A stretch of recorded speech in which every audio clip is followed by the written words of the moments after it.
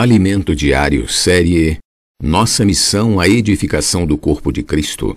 Título do volume 1: Deus escolheu você. Autor Pedro Dong. Título da semana 3: A Bênção do Pai. Escolha e predestinação. Domingo, ler com oração Hebreus capítulo 11, versículo 6. De fato, sem fé é impossível agradar a Deus porquanto é necessário que aquele que se aproxima de Deus creia que ele existe e que se torna galardoador dos que o buscam. A fé nos leva a obedecer à palavra de Deus. A incredulidade e a desobediência à palavra desagradam a Deus. Isso é bem ilustrado na história do rei Saul, registrada no primeiro livro de Samuel, capítulo 13. Por dar mais atenção às circunstâncias do que ao mandamento de Deus, isto é, à palavra de Deus, o rei perdeu seu reinado. Como Samuel não chegava de Gilgal, forçado pelas circunstâncias, Saul ofereceu holocaustos ao Senhor em lugar do sacerdote como tentativa de reverter a dispersão do povo e obter o favor de Deus.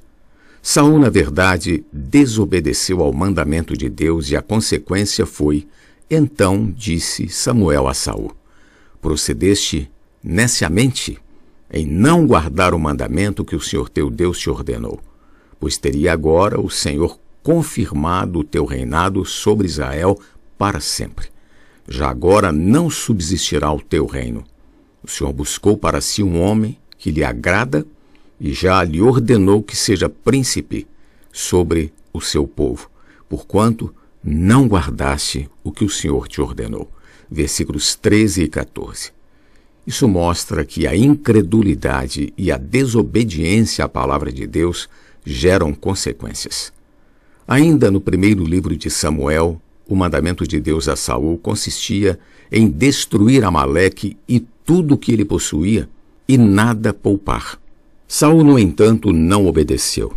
Pelo contrário, ele preservou a vida de Agag, rei dos Amalequitas, e o melhor das ovelhas e dos bois para sacrificar ao Senhor. Isso desagradou a Deus. Então Samuel disse a Saul: Tem porventura o Senhor tanto prazer em holocaustos e sacrifícios, quanto em que se obedeça à sua palavra? Capítulo 15, versículo 22. Desse modo, nossa fé e obediência à palavra agradam a Deus. Querido leitor, a fé leva à obediência. A palavra profética é mandamento de Deus e devemos obedecer-lhe. O apóstolo Paulo, ao escrever epístola aos Romanos, enfatizou a importância da obediência por fé, por intermédio de quem viemos a receber graça e apostolado por amor do seu nome, para a obediência por fé entre todos os gentios. Capítulo 1, versículo 5. A palavra de Deus é uma ordem para executar sua vontade e não para discutir doutrinas. Deus faz sua obra por meio da palavra profética. E que agora se tornou manifesto e foi dado a conhecer por meio das escrituras proféticas, segundo o mandamento do Deus eterno, para a obediência por fé entre todas as nações. Romanos 16, 26. Então, qual deve ser nossa atitude para com a palavra? A obediência por fé. Quando cremos e obedecemos, praticamos o mandamento de Deus por meio da palavra profética. Assim, a vontade de Deus é feita.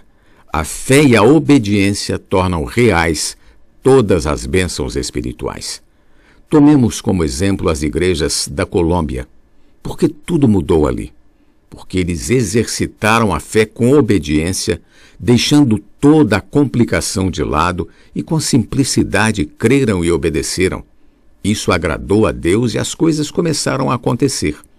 Em Hebreus lemos: de fato, sem fé é impossível agradar a Deus, porquanto é necessário que aquele que se aproxima de Deus creia que ele existe e que se torna galardoador dos que o buscam.